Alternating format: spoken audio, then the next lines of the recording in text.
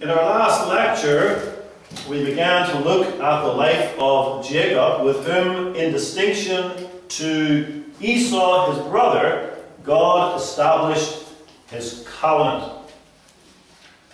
So God did not establish his covenant with Esau, but with Jacob. Jacob, however, only obtained the blessings of the covenant in the way of struggle. The life of Jacob is characterized by this struggle for the covenant. He struggled for the covenant before he was born, holding on to Esau's heel in the womb in an attempt to be born before his brother. He struggled for the covenant because of the realization that Esau had the birthright which he, Jacob, desperately wanted. And this was a good struggle, and he had a good goal. He wanted the blessings of the covenant. But in this good and holy struggle, Jacob often resorted to sinful methods. And that's something you will see time and time again in the book of Genesis, where the life of Jacob is recorded for us. He relied upon the arm of flesh. We saw that last time he cheated his brother by buying the birthright from him for a mess of pottage. And although Esau was certainly to blame, he wickedly sold his birthright for a mere mess of pottage. Jacob was also to blame because of his deceit. And then Jacob attempted to secure the birthright blessing through lies, deceit, and trickery, as we also saw last time when he lied to his blind father Isaac, pretending to be his brother Esau. And so Jacob's struggle was essentially the same struggle that we all face as Christians the struggle with the flesh against the spirit, or the struggle with the flesh against faith. Jacob had faith he believed that God was the covenant God. He believed that there were covenant blessings, but he struggled against his own flesh and so often would resort to foolish and sinful methods. And he had to learn, just as all of us have to learn, that we inherit the blessings of the covenant not through our own sinful efforts, but by faith. Faith in God's promises, not our own clever schemes. And as Jacob tried to obtain the covenant through his own skill, his own, his own ingenuity, and even his own deception, God taught him, as he often does his children, through painful chastisements. He taught Jacob that his ways were displeasing to him until finally Jacob comes to his goal in the way of faith. And as the writer to the Hebrews expresses it in Hebrews 10:36, ye have need of patience, that after ye have done the will of God, ye might receive the promise. So that applies to, to Jacob. And therefore, the life of Jacob must be both encouragement to us. God is faithful to his covenant promise. We must see that in the life of Jacob. And also, it must be a warning to us. Do not be like Jacob and trust in the arm of flesh, because you put yourself at risk of experiencing God's fatherly but painful chastisement. Last time, Jacob, we saw, was forced to flee from the land of Canaan. because Esau, his brother, desired to kill him. Because Jacob had tricked Esau out of the birthright blessing. And so Esau planned to kill Jacob as soon as his father would die.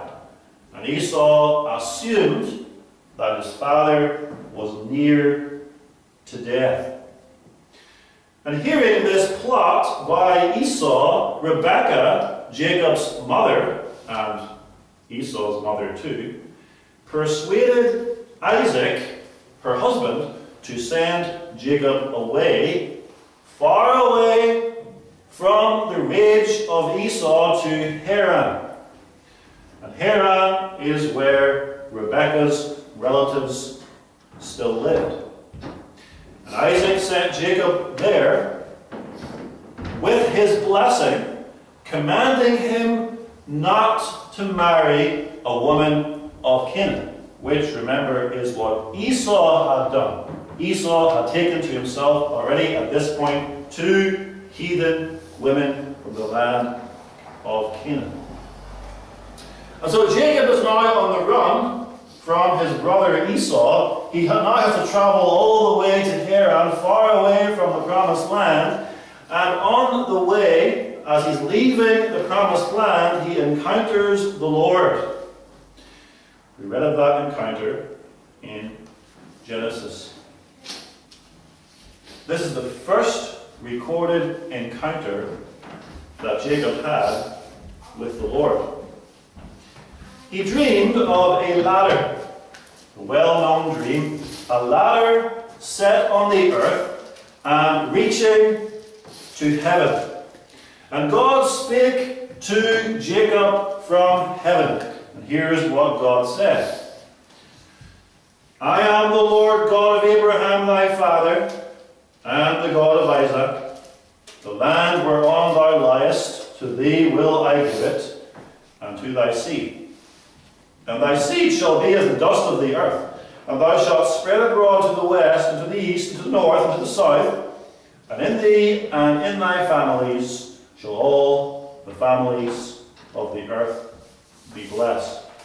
And behold, I am with thee, and will keep thee in all places whither thou goest, and will bring thee again into this land, for I will not leave thee until I have done that which I have spoken to thee of. Genesis 28 13 through 15. So here's Jacob. He's very discouraged at this point. All of his efforts to gain the blessing for himself have failed miserably. He's now running away from his family to the land of Haran. He needs encouragement, and the Lord appears to him. And notice what the Lord says. First, God's words to Jacob constitute a promise. Jehovah speaks about who he is and what he shall do. He doesn't speak so much about what Jacob must do, but rather about what he, Jehovah, promises to do. I am, he says to God. I will give.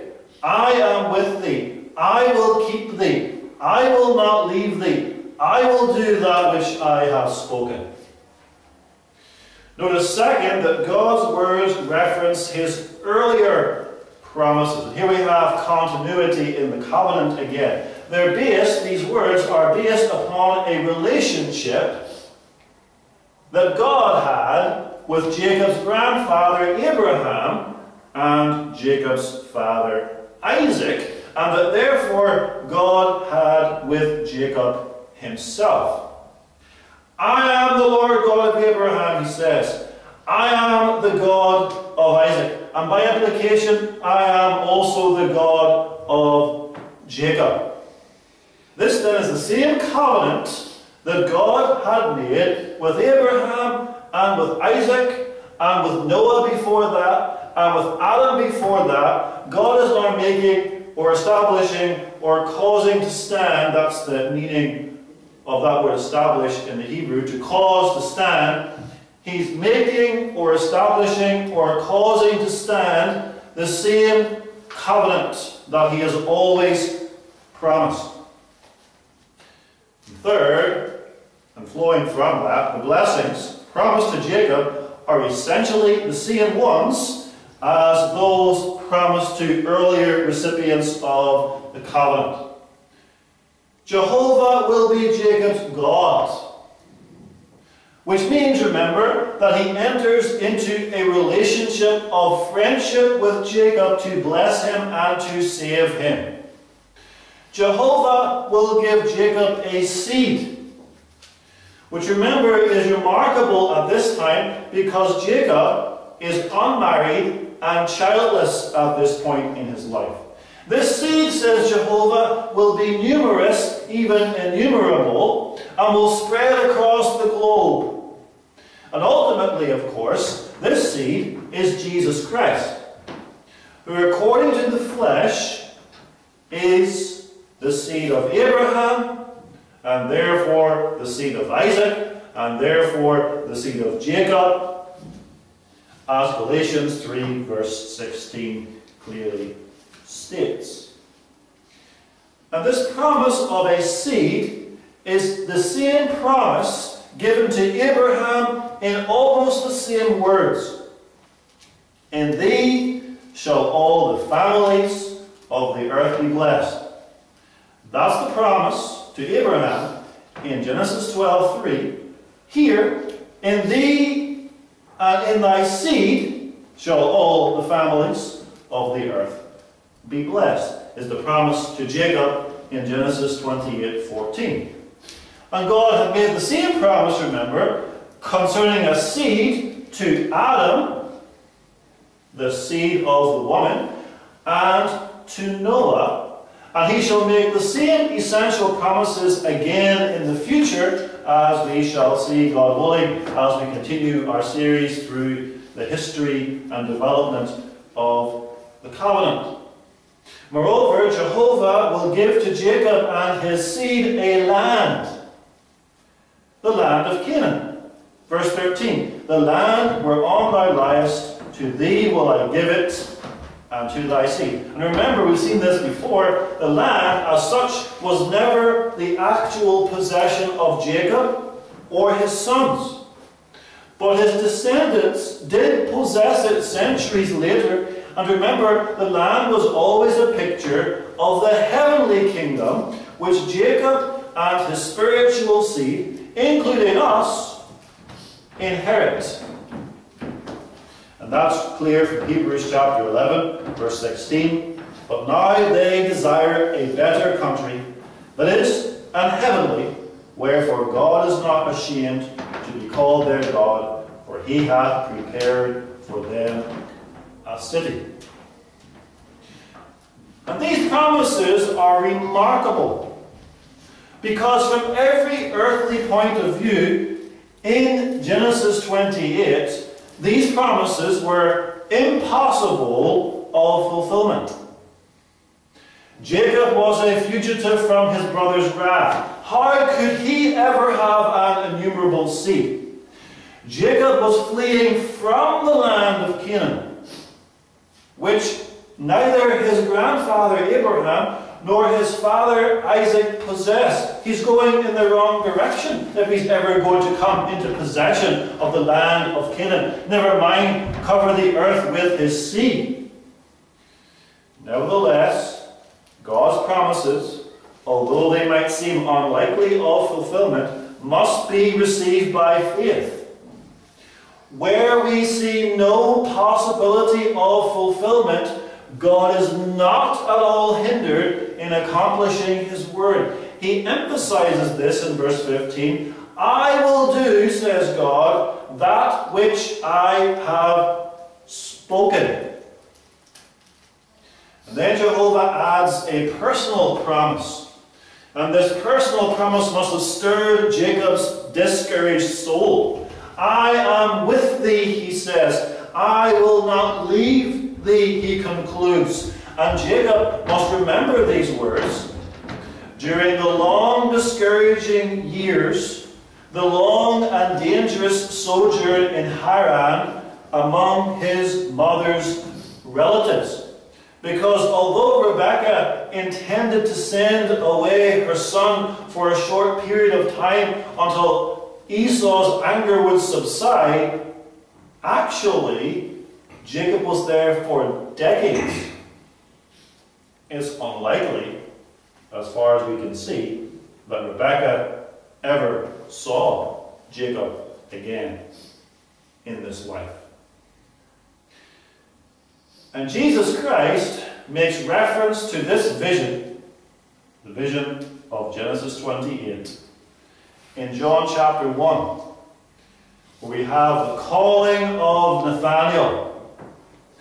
Philip, remember, one of the disciples of Jesus, informed Nathanael in John 1 verse 45, We have found him of whom Moses in the law and the prophets did write, Jesus of Nazareth, the son of Joseph. And Nathanael was initially unimpressed by this, and he asked somewhat skeptically, Can there any good thing come out of Nazareth? And Philip doesn't argue with him, but simply says, Come and see. He comes and meets Jesus, and after a short conversation with Jesus, Nathanael exclaims in faith, Thou art the Son of God, thou art the King of Israel, John 1.49. And then Jesus assures Nathanael in verse 51, Verily, verily, I say unto you, hereafter ye shall see heaven opened, and the angels ascending and descending upon the Son of Man. So Jacob saw a ladder which connected heaven to earth and the angels were ascending and descending upon it. Jesus says, I am the fulfillment of that vision. I am the fulfillment of Jacob's ladder. I am the one mediator who unites heaven and earth. And by his death on the cross, and by his glorious resurrection, and by his triumphant ascension, Jesus brings poor, earth-bound sinners to heaven. Now, Jacob's response to Jehovah's vision is fear. Fear. A godly fear, a holy trembling. And he names the place, previously called Luz, he names it Bethel. And Bethel means house of God. And then he anoints a stone, a pillar with oil, and he makes a vow to the Lord. Verses 20 and 21 of Genesis 28. If God be with if God will be with me and will keep me in the way that I go, and will give me bread to eat and raiment to put on, so that I come again to my father's house in peace, then shall the Lord be my God. Jacob's response here is inadequate. It's evidence of weak, prevaricating faith. Oh, yes, Jacob had faith, but his faith must be purified and strengthened and perfected. There's something missing here. We must never, as Jacob here attempts to do, we must never make our faithfulness to God conditional on God's performance as our God. That's what Jacob does. Jacob here is attempting to bargain with God. I will take Jehovah as my God if he does X, Y, Z. If he does what I want him to do as my God. But Jacob must learn that Jehovah is unconditionally Jacob's God, and Jacob must be unconditionally Jehovah's friend servant in the covenant. Jehovah will teach that to Jacob again through many years of chastisement. Now Jacob travels about 5,000 kilometers or 3,000 miles to Haran. arrives in Haran, his first task is to locate his family. And that was not difficult because his family was prominent in the land and because God brought his family to him at the well. Possibly the same well as the one at which Abraham's servant had met Rebekah many years before, thus finding a wife for Isaac. And at that well, Jacob encountered Rachel. Rachel, the younger daughter of Laban. Laban was Jacob's uncle, or Jacob's mother's brother. And upon meeting Rachel, Jacob loved her and desired to have her for his wife. Nevertheless, Jacob did not seek the Lord. Had the Lord prepared Rachel for Jacob? Was she a suitable woman to marry? Was she a suitable mother for the promised seed? These questions did not enter Jacob's mind. Instead, her physical characteristics impressed him. We read in Genesis 29, verse 17 Rachel was beautiful and well favored. She had beauty. But there's no reference to godliness. Notice that. She had beauty, but there's no reference to godliness. And there is evidence in Scripture that Rachel, if she was not actually ungodly, which some people hold, was not spiritually minded or strong in faith and godliness. Leah, on the other hand, her sister, the other daughter of Laban, she was godly. And you'll see that as you read through the chapters in Genesis. However, Scripture describes her as tender eyed. In contrast to her sister, who was beautiful and well favored, Leah was tender eyed. And that expression simply means of weak eyes or of feeble eyes. Perhaps she had a physical defect of some kind. Perhaps she had poor eyesight. Whatever it was, it made her less attractive than her sister, which might go far to explaining why she was not yet married. And if Leah lived in our age, you can probably picture such a girl. She had thick glasses and was not as attractive as the other girls in her age group. Nevertheless, Jacob, without looking at any of these spiritual characteristics, Jacob preferred Rachel to Leah. And so insistent was he on marrying Rachel that he served Laban, his uncle, for seven years without a salary. He worked for seven years in order to have the right to marry Rachel. But on the wedding day, Jacob was the victim of a monstrous injustice. Laban substituted Leah for Rachel, so that Jacob married Leah instead of Rachel. And undoubtedly, there were several co-conspirators in this plot to defraud Jacob, Laban, of course, was the chief conspirator. He wanted to get rid of his less attractive older daughter. Leah must have at least consented to the fraud. And Rachel, if she knew about it, was not able to warn Jacob before the wedding day and thus prevent the fraud from taking place. And so the fraud took place, and Jacob then angrily confronted his, his uncle Laban, who offered a lame excuse. Genesis 29 26. It must not be so done in our country to give the younger before the firstborn. Why did he not mention that earlier? But legally, legally, Jacob could do nothing.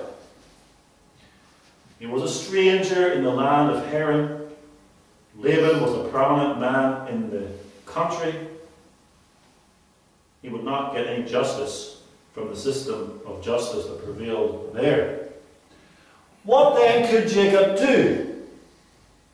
Well, what should Jacob have done? Jacob should have seen the hand of God in all of this. He ought to have examined his own life and his own conscience. Had Jacob not been guilty of the same thing? Had he not deceived his father in order to gain the birthright blessing? Was there not a switch, as it were, in the tent of Isaac, where Jacob pretended to be Esau in order to obtain the blessing for himself? Jacob should have seen this as chastisement from God. You might even call it poetic justice. You deserve this, Jacob. You tricked your father. Now you're being tricked by your uncle. And then Jacob should have submitted to God's mighty hand, as 1 Peter 5 puts it, without grumbling, and he ought to have received Leah for his lawful wife. Because in God's providence, Leah is now his wife. Leah was given to him as his wife. She was not his first preference, but she was nevertheless his wife. But Jacob doesn't learn. And those who don't learn have to go through more painful chastisement. Jacob yielded to temptation. He still wanted to have Rachel. And so he commits the sin of bigamy. Two wives. His uncle, now his father-in-law, Laban, persuaded Jacob to work for another seven years in order to marry Rachel. So Laban gets 14 years of unpaid labor and gets rid of both daughters. Jacob didn't have a leg, a leg to stand on legally, and so he went along with it. Now, it doesn't appear to be the case that Jacob had to wait for seven more years to marry Rachel, but rather, Genesis 29 27 says, he fulfilled one week for her. So he married Leah, and then one week later, he married Rachel, but he still had to work for another seven years before he could get paid. Altogether, 14 years. Nowhere, you'll notice in Scripture, nowhere in the account of Jacob in Genesis does God in so many words condemn Jacob's sin. It doesn't say in Genesis, and the thing that Jacob did displeased the Lord. However, God's disapproval is written in large letters over Jacob's home. Sin brings its own reward, or its own chastisement. So here. Jacob's life was miserable. He was married to two jealous, squabbling sisters. And these two jealous, squabbling sisters insisted that he lie with two further women in order to father children. Jacob therefore had two wives, Leah, his legitimate wife, and then Rachel, his favourite wife, and two concubines, Bilhah and Zilpah, who were the servants of his two wives, and these four women were the mothers of his children. And if Jacob had been content simply to have Leah, although he wasn't, as they say, his first choice, he would have had a happier home and a happier marriage. As it was, he lived with four squabbling women, especially two squabbling, jealous sisters. But in this way, here we see the ways of God are remarkable, higher than our ways.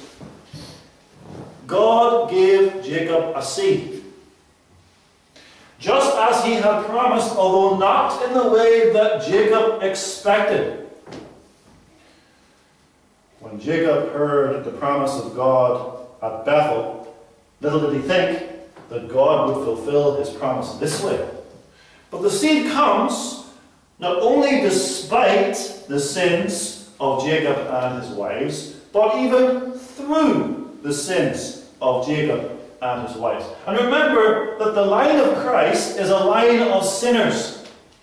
The whole line of sinners from Adam all the way to Mary. And actually, this line of sinners ultimately fails to bring forth the promised Messiah because the promised Messiah is virgin born. And so, by a miracle, God must bring forth the promised Messiah himself by the power of the Holy Spirit. And so God gave to Jacob the promised seed this way, but this does not excuse Jacob's sins. And that's something we have to learn in Scripture. God is able to bring good out of evil. We cannot bring good out of evil. But that does not excuse the evil out of which God is pleased to bring forth the good. And the seed of Jacob ultimately is Judah, the fourth son of Leah. And Judah's name means praise. It's through him that Christ comes. But all of the sons of Jacob are significant because they are the fathers or even the foundation of the Old Testament nation of Israel or church. And they become the 12 tribes of Israel. And so through this miserable set of domestic circumstances, God brings forth the 12 tribes of Israel, from which 12 tribes of Israel God gathers his church in the Old Testament and ultimately brings forth Jesus Christ. And the names of these sons of Jacob are fascinating. Leah gives birth to the first four which was an indication that God approved of Leah and not Rachel. We read of that in Genesis 29 31. And when the Lord saw that Leah was hated, he opened her womb, for Rachel was barren. And the names that Leah gives to her son show her faith. They show Leah's faith. Reuben signifies, See, a son. The Lord has given me a son. Simeon signifies, He has heard. The Lord has heard and given me a second son. Levi signifies join. And Judah signifies praise. Praise the Lord, for He has given me four sons. However, these names have a sad background. Leah named her first son Reuben because, she said, chapter 29, verse 32, The Lord hath looked upon my affliction, now therefore my husband will love me. Reuben's name was a testimony, a sad testimony, to the lovelessness in Leah's marriage to Jacob. And she hoped that by giving him a son, he might now love her. And that's tragic.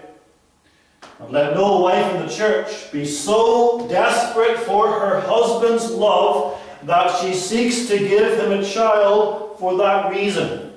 If I can give him a child, then he will love me. Leah named her second, her second born son Simeon, because she said, verse 33, The Lord hath heard, the Lord hath heard, that I was hated. And so Simeon's name was a testimony to the hatred that Leah experienced from her husband. That hatred was not cruel as such, in that it wasn't the case that Jacob was abusing his wife or beating his wife or was violent towards his wife, but rather that hatred was hatred that excluded her from his tender affection and neglected her in favor of her sister. And again, Simeon's name is a warning to husbands in the church love your wives and show them affection. And then Leah named her third child Levi. Levi, because she said in verse 34, Now this time will my husband be joined unto me, because I have borne him three sons. Levi's name was a testimony to the lack of a spiritual, emotional bond between Leah and her husband. They lived in the same dwelling, in the same tent, let's say, but she didn't feel any closeness to her husband. It was as if they lived separate lives. She longed to be joined to him, but she felt alienated from him because of his favour towards her sister Rachel. God's command to husbands is 1 Peter 3, verse 7 Dwell with them according to knowledge, give honour unto the wife as unto the weaker vessel, and as being heirs together of the grace of life, that your prayers be not hindered. Marriage is a close relationship which consists of friendship and companionship. Husbands must spend time with their wives, speaking to them with affection, enjoying their company, listening to them, sharing with them. And even after three children, Leah did not experience the love, tender affection, and closeness that she longed to have with her husband Jacob, because her husband loved the other woman more than she. In fact, the Bible puts it so far as to say that he hated her. And the fourth son, Judah, because now will I praise the Lord. Verse 35. And notice again that these names, it's striking that she names the sons, not Jacob, these names are testimonies to Leah's faith. And these testimonies are absent in Rachel.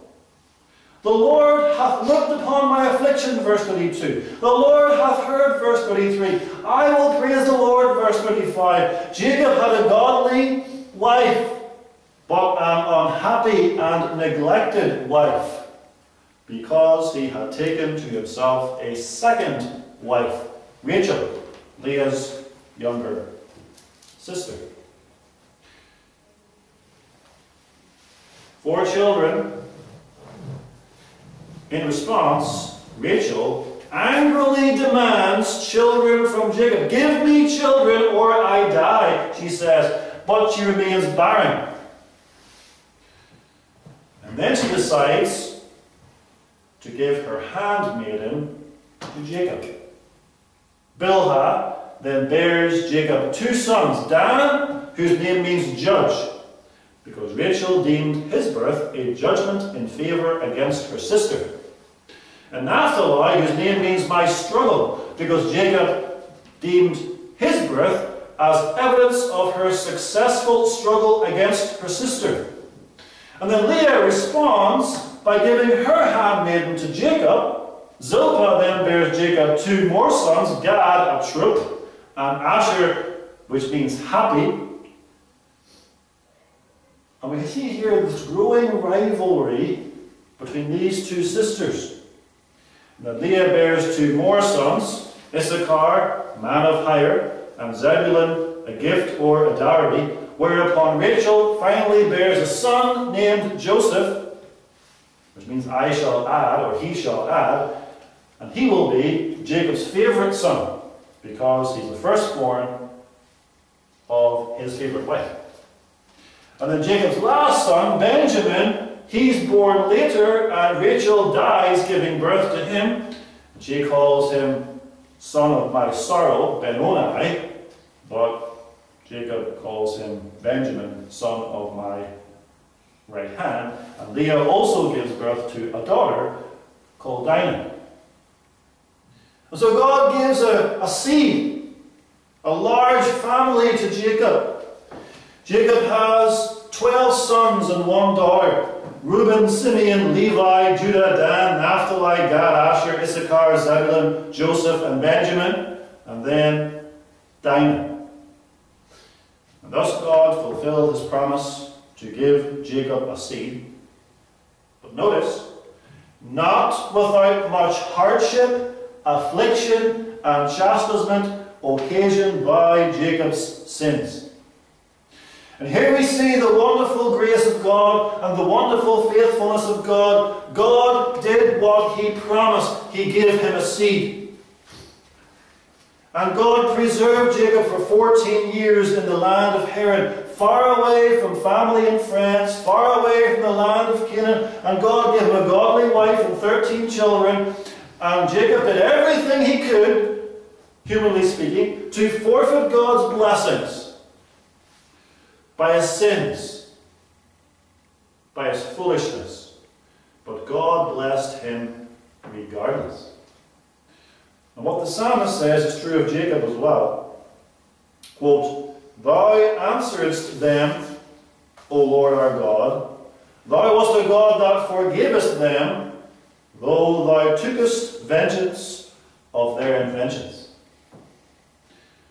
God took vengeance, you might say, of Jacob's inventions, his schemes, but he still forgave Jacob and loved him and blessed him and increased him as he had promised so to do. And so 14 years have passed.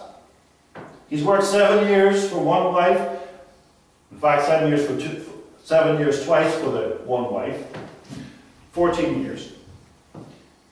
At the end of the 14 years, Jacob possesses nothing except the clothes on his back and the wives and children which God has given to him. He has worked for 14 years without salary, only for bed and board. And wicked Laban, covetous, greedy Laban, has neglected to pay his son-in-law and has exploited him for years.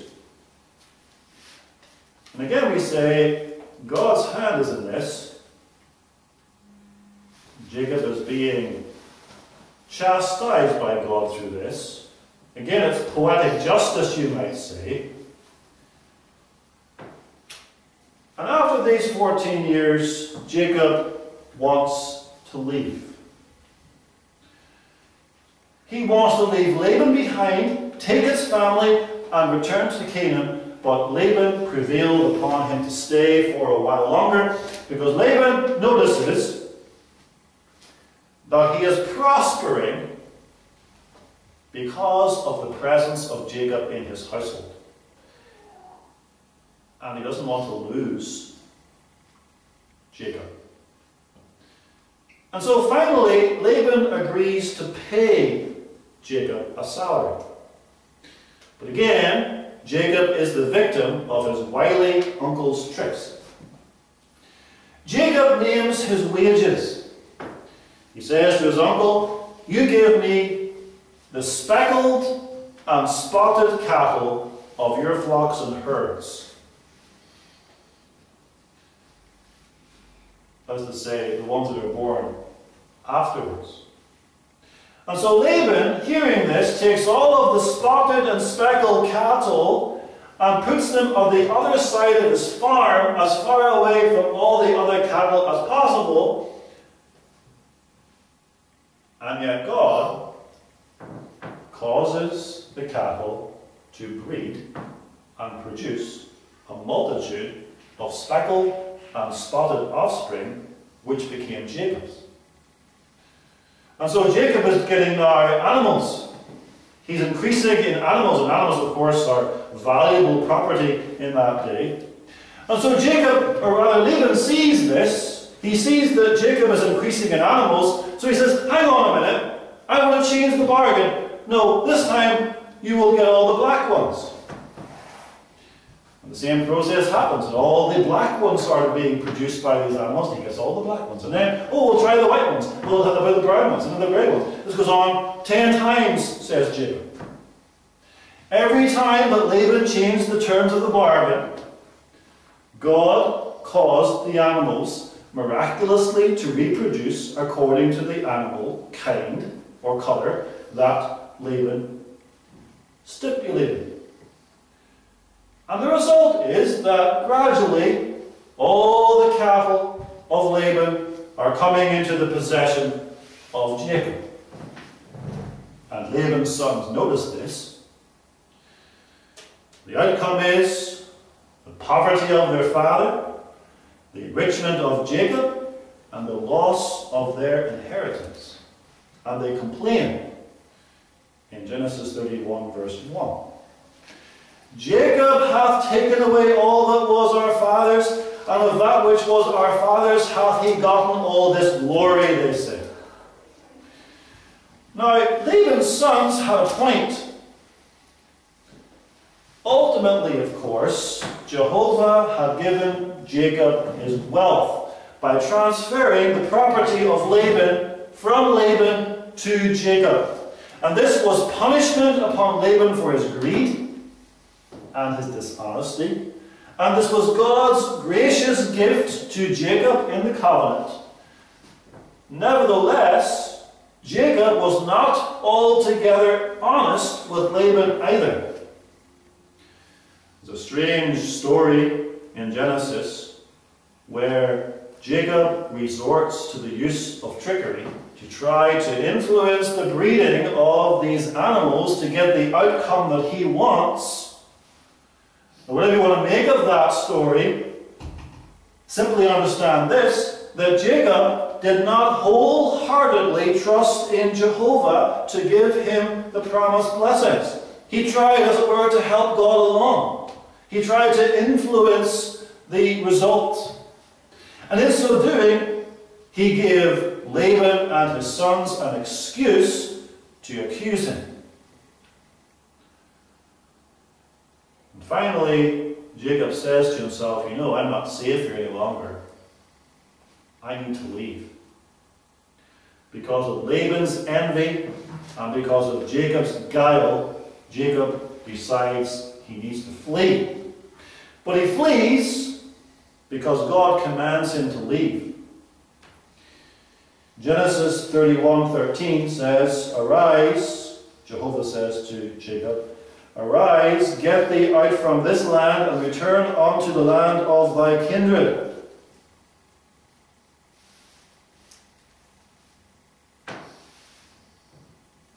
So he leaves in obedience to God, but he leaves with the reputation of being a trickster himself. Laban was a trickster. Jacob resorted to trickery as well. And Jacob was not justified in resorting to deceitful tricks to achieve what he thought was due to him. And Laban was enraged and might have well killed Jacob, or at least enslaved him but for the fact that God rebuked Laban in a dream, so that Laban and Jacob finally departed in peace. And so God saved Jacob from the anger of his uncle Laban. And God then delivered Jacob from the land of Haran with a, a lot of wealth, bringing with him four wives, two wives and two concubines, and his children. and planning them to return to the land of Canaan, the land that God promised to give unto the seed. But however, a much greater trial awaited him. God had protected Jacob from Laban, but as he is approaching the land of Canaan, he hears that Esau is on his way to meet him. Jacob's messengers reported to him, chapter 32, verse 6 We came to thy brother Esau, and also he cometh to meet thee, and four hundred men with him. And these four hundred men did not have peaceful intentions. Now Jacob receives news of Esau's approach near the border of Canaan, and he is afraid. Because remember, the last time he'd seen his brother, his brother had said he would kill him. Is Esau still angry after all these years? It seems to be the case because he's coming with 400 men, 400 armed men. And therefore, a severe trial awaits Jacob just before he enters the promised land again. And graciously, God meets him with angels at the beginning of chapter 32, verses 1 and 2. And Jacob went on his way, and the angels of God met him. And when Jacob saw them, he said, This is God's host. And he called the name of that place Mahanaim. And Mahanaim means double host. You've A-I-M at the end of the Hebrew name. It means two, the number two, or double. Double host, indicating the presence of mighty angels, and these angelic hosts must have encouraged Jacob. Nevertheless, Jacob's first reaction to tidings of Esau's approach is to separate his camp into two. he hopes, in so doing, that if one group is attacked, the other will escape. These words are not the words of strong faith, hoping maybe one of the groups will escape. It's prudence, perhaps you could say, prudence, but not strong faith. The second thing that Jacob does is pray. Pray in Genesis 32, verses 9 through 12. And Jacob said, O God of my father Abraham, and God of my father Isaac, the Lord which saidst unto me, Return unto thy country and to thy kindred, and I will deal with thee, deal well with thee. I am not worthy of the least of all the mercies and of all the truth which thou hast showed unto thy servant. For with my staff I pass over this Jordan, and now I am become two bands. Deliver me, I pray thee, from the hand of my brother, from the hand of Esau, for I fear him, lest he will come and smite me and the mother with the children. And thou saidst, I will surely do thee good, and make thy seed as the sand of the sea, which cannot be numbered for multitude. Jacob, you notice, addresses his prayer to the God of his fathers. O God of my father Abraham and God of my father Isaac. Jacob appeals to God's mercy and grace. I am not worthy of the least of all the mercies and of all the truth which thou hast showed unto thy servant. He confesses his own unworthiness in humility before God's face, which is always fitting, because God resists the proud but gives grace to the humble. He makes an honest confession of his fears before God, which is also good. We ought to cast our burdens upon the Lord, pour our hearts to Him. And finally, he makes two related requests. First, he requests deliverance from Esau, and second, he requests multiplication of his seed, which is simply a restatement of God's promise. And in that second request, the multiplication of the seed, he requests the coming of Jesus Christ. For Christ is the seed of the woman, the seed of Abraham, and the seed of Isaac, and the seed of Jacob. Nevertheless, Jacob's faith has not yet been purified and tested, and therefore God will purify and strengthen it even more through chastisement and testing. We see here Jacob is still not wholeheartedly trusting in the Lord, for he also sends a present of 580 beasts to appease Esau. We call this hedging your bets.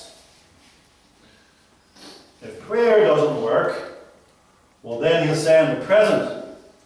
And if the present doesn't work, well, then he'll pray. And so Jacob here is halting between two opinions trusting Jehovah and trusting himself. He must be weaned of that trust in the arm of flesh. And he finally learns this in a very striking passage in chapter 32, the climactic moment of Jacob's life when he wrestles with God at Peniel. And Peniel means the face of God. So Jacob sends his wives and children across the Jabbok stream, and he spends the night alone with God. And he does this because God has not yet answered his prayer. And Jacob is desperate for an answer to that prayer. Without an answer to that prayer, everything is lost. He, his wives, his children will be wiped out, and the covenant will be destroyed. Everything is lost unless God graciously answer the prayer. And therefore Jacob prays to God all night And the prayer is described here in terms of wrestling. Wrestling or struggling with God. Prayer is a spiritual activity in which the believer lays hold upon God by faith.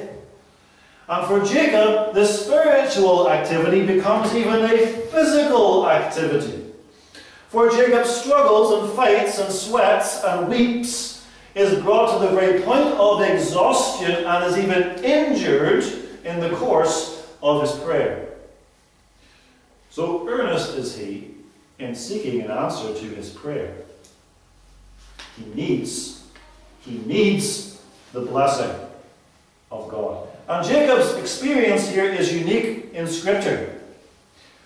Oh, yes, others have wrestled in prayer. The New Testament talks about agonizing in prayer, literally in the Greek, agonizing in prayer. But this is the only example of a, of a person, a child of God, wrestling with God in prayer, where God appears as a man to wrestle with one of his children. a man appeared and wrestled with him. Verse 24, and Jacob was left alone, and they wrestled a man with him until the breaking of the day. And we know this is not a mere man, because Scripture says he was also God. Verse 29, Jacob seeks the blessing from him.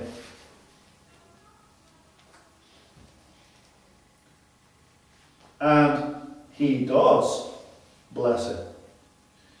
And second, he says in verse 30, Jacob says, I have seen God face to face, and my life is preserved. And he called the name of that place Peniel, which means the face of God. We know too that this wrestler was almighty. One simple touch of Jacob's thigh, and he cripples Jacob. And this wrestler is Jesus Christ.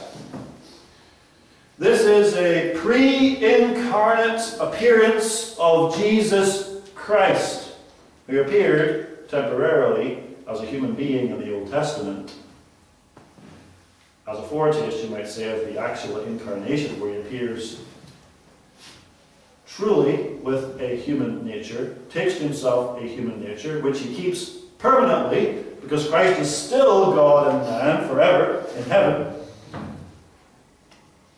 Christ here. Christ, who is the seed of the woman, Christ, who is the mediator of the covenant, appears and wrestles with Jacob. Why does the Lord appear to him in this way? Why does he wrestle with him? And why does he cripple him? He does so to bring Jacob to repentance and to strengthen his faith. Because Jacob, although he is a believer, has, as we have seen, relied on the arm of flesh, and his reliance on the arm of flesh must finally be broken. Jacob must repent of that evil way, and that's the explanation given in Hosea 12. Hosea chapter 12, verses 3 through 5. He took, that's Jacob, he took his brother by the heel in the womb, and by his strength he had power with God. Yea, he had power over the angel, and prevailed. He wept and made supplication unto him. He found him in battle, and there he spake with us. Even the Lord God of hosts, the Lord is his memorial. According to Hosea, which is not recorded for us in Genesis, Jacob wept. He wept. And weeping in the Bible is a sign of repentance. He wept over his sins. He wept over his folly. He wept over his self reliance. He wept over his trickery. He looks over his life, remembers tricking Esau and tricking Isaac, and committing the sin of bigamy and many other sins besides. And he makes, we are told in Hosea, he makes supplication. He prayed, he asked, he begged God to bless him. Verse 26 I will not let thee go except thou bless me, he said. And God blesses him. Just before, as it were, as the day was breaking, verse 26, God blessed him. Christ blessed him. And this amazing wrestling match with the Lord God, with the mediator of the covenant, leaves Jacob changed. He's a changed man. He's changed spiritually. He's also changed physically. He is permanently injured with a limp. Halts, we're told, verse 31. He halted, or he limped, upon his thigh. God has injured him in this wrestling match. He has been humbled to the dust. And more importantly, he's blessed. And to show that, his name is changed. Israel is his new name.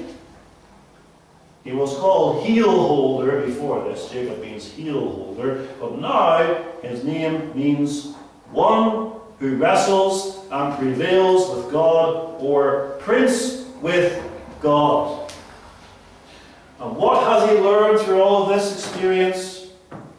He has learned this that the blessing of the covenant, which is essentially the same one as Abraham's blessing and Isaac's blessing, and even Noah's blessing and Adam's blessing, the blessing of the covenant comes in the way of faith, and only in the way of faith. Not in the way of schemes, not in the way of works, not in the way of sins, but in the way of faith. In fact, God destroys all those other works. When we attempt to reach the blessing of God by means of those other things, God destroys those things and God makes a mockery of those things and God chastises us because of those things. The way of blessing is faith in God's promises. And those promises are fulfilled in Jesus Christ. They were fulfilled in Christ for Abraham and for Isaac and also for Jacob and also for us who belong to Christ by faith. Thank you for your attention.